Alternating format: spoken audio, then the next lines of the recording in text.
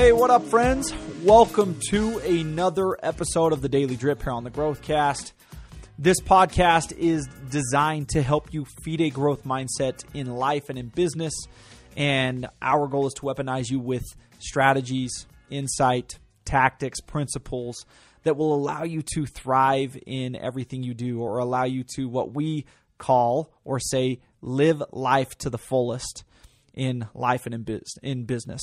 Life is an acronym we use. It stands for learn, implement, fail, evolve. It's this philosophy, this approach on life that we should all adopt if we truly want to succeed and reach our highest potential. Look, growth, an inevitable component of it or p- part of the process in growth is change, right? Change is, is something that you must learn how to navigate, and it is exactly what I want to talk about on today's drip. Today's insight is this the old way is not the only way. Look, is it okay to resist change? Yes, it is. It's it's natural, it's normal. Should we push our values aside when it comes to change and drop them? No. No, that's not something that we should be quick to side with. Look, what I want to do today is just give you some simple terms in order to drive home the the point of today's drip in, in regards to change, and that is that there is more than one right way, right? Sometimes what impedes our growth with change is that we think, we believe, you believe that there is only the one way, the way you know, that that's the right way, because maybe that's the way you're most competent in. Look, there is more than one right way old ways, new ways, they're all productive, many of them.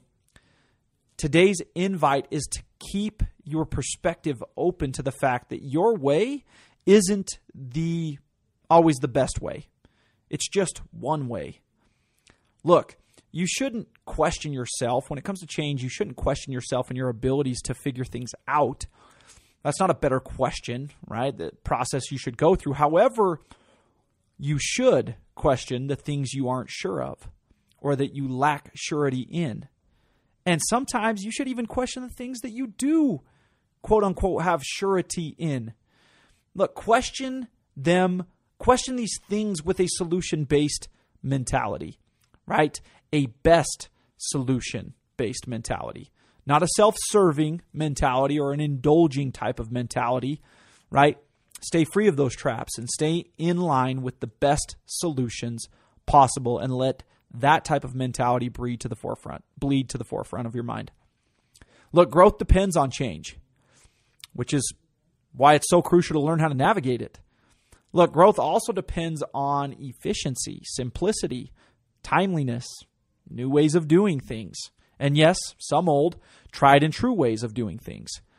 Today's mental note Again, the old way isn't the only way, it's just one way. Always remember there are other ways. There are always other ways. There are new ways. And sometimes there are better ways.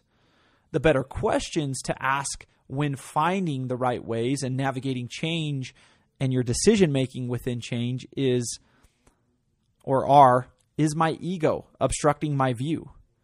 Do I have my blinders up? What other options are there?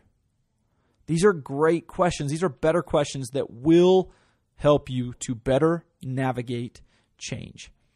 Look, old ways and new ways can produce the best options or solutions possible. Both can do this. Make sure that you are keeping your better options open by keeping your focus on the thing that matters most, and that is the best possible solution or the best path to the best solutions, not just your way or the way. Weed that type of mentality out and keep your perspective open. That is today's invitation. All right, guys, that was a whole lot packed into one drip, but hopefully the point was driven home and hopefully you're able to grab something of value to help you better navigate one of the most crucial components of growth, and that is change.